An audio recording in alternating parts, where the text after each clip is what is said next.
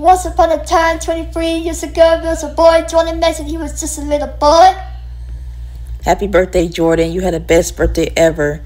Continue to be kind. May all your dreams come true. We hope you come home soon. Happy birthday, Jordan.